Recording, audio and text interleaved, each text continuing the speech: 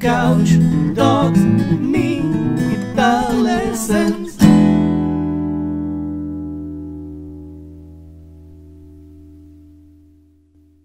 Hey there, LickNRiffers, how are you doing? Welcome to another awesome fingerstyle guitar lesson right here on LickNRiff, in which we'll explore gospel style blues in fingerstyle. It sounds daunting, but it's actually a lot of fun. You don't have to do any soloing other than the chords themselves because the chords are so rich. I'm talking about something like this.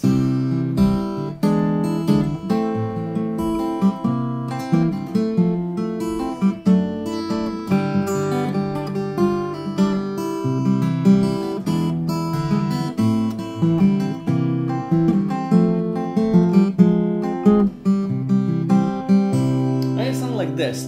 Um, you can complicate it if you like, but I see no reason to because the harmonies themselves kind of blend into one another. And um, the idea behind this is actually pretty simple.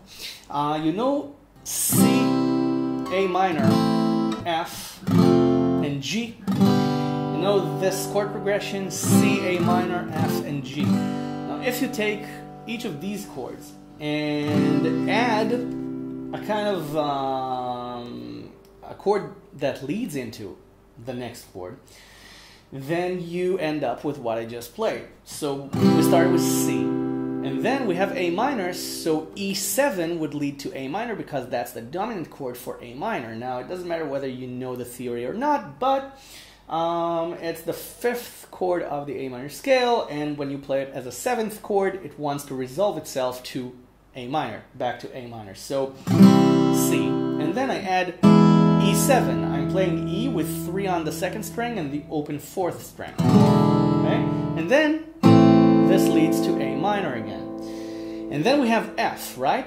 So the chord that leads to F, the dominant chord for F, is C7. So I'm playing C7 next.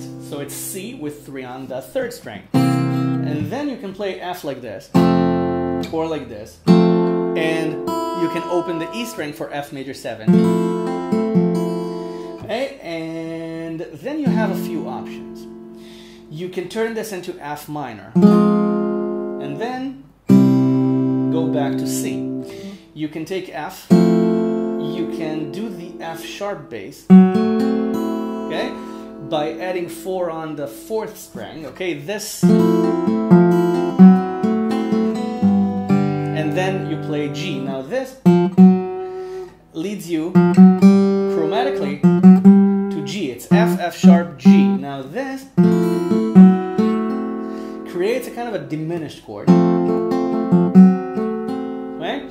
But without sounding diminished, without sounding like this, too sinister. So you get F with F sharp as a high bass note, you know, on four on the fourth string. And then G, and then you can turn it into G7 by adding one on the E string. You can play three on the B string, so you have one and three. And then this leads back into C because G7 is the dominant for C. So that's the basis for everything we're doing here. Now, the idea uh, behind the exploration would be to just try the different endings. Now, you can do F and then you can do D over F sharp, like this. Okay? Or with the open E string, then you have D9 over F sharp. So it's D with two on the sixth string for F sharp, okay? With the open E string. So you get, yeah, you don't have to play the E string. You can play strings two, three, four, and six, and then you go to G. Now this serves two purposes because you have F, then you have the chromatic move on the bass for F sharp, and you have D, which leads you to G. D is the dominant for G. You can play D7 over F sharp, but then you'd get the F sharp diminished. Okay? Again, you get the diminished sound. Okay, so that's why I'm playing D and not D7.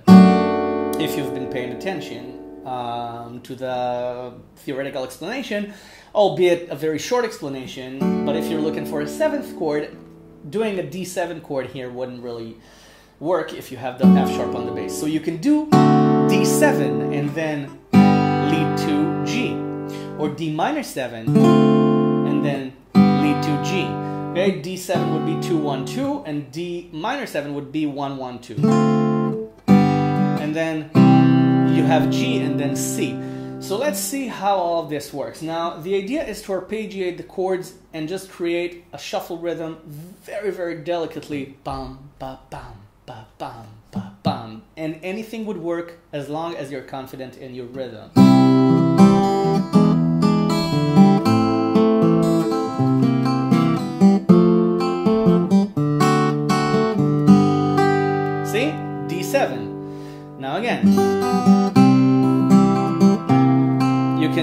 Seven right away and do the F, F minor, C line and then E7. You don't have to keep a straight um, length for the for the same chord progression. You can shorten some chords, prolong other chords.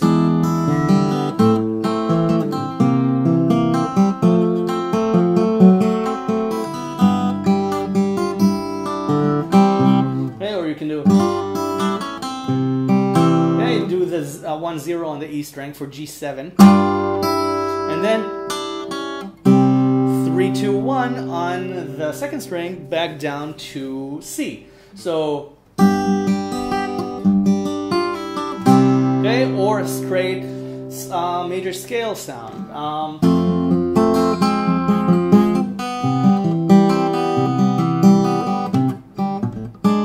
Okay, I got myself a little bit confused. Landed in the wrong place at the.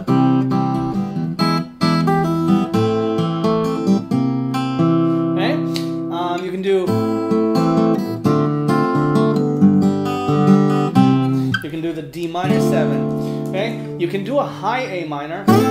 Okay, you can do a high E seven. You can do a high C7. Okay? Um, so for A minor, it would be 555 and the fifth string. For E7, it would be 434 and the sixth string. And for C7, it would just be a barred C7. Bar on 3, A7 shaped. So you can do uh, something like this. See? C, E7, A minor, C7, then back to F.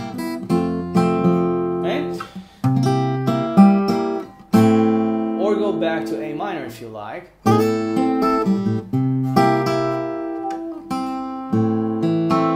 Or D minor 7, or D7 if you're daring.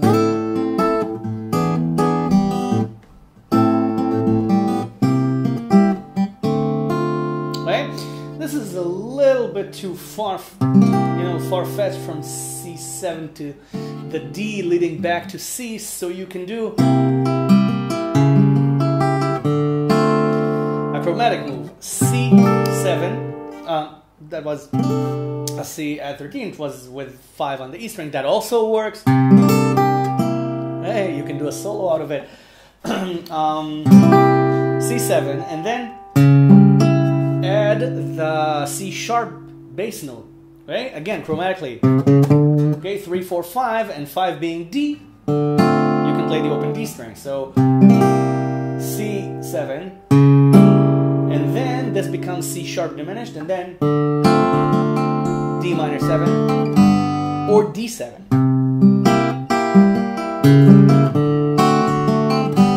Okay? I suggest that if you do this, play the D minor 7.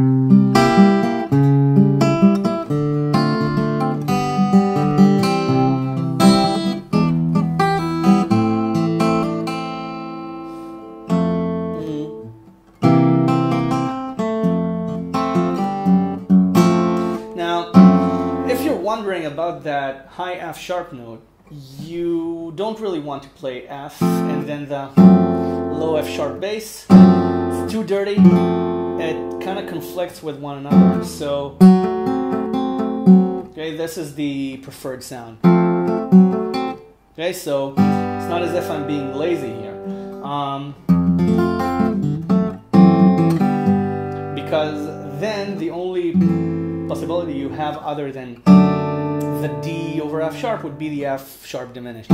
So you might like that sound, but I'm trying to keep it, you know, pleasant, and this sort of chord um, is too sinister for this. This is a very uh, a very relaxed sort of thing, a very laid back.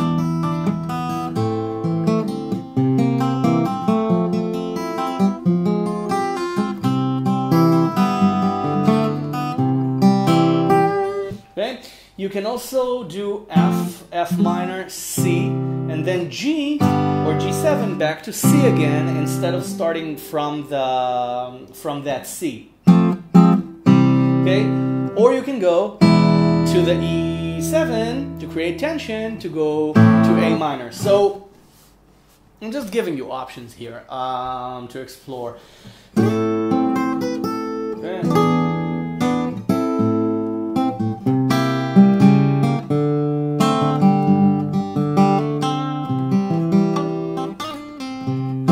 Can add blues licks if you like.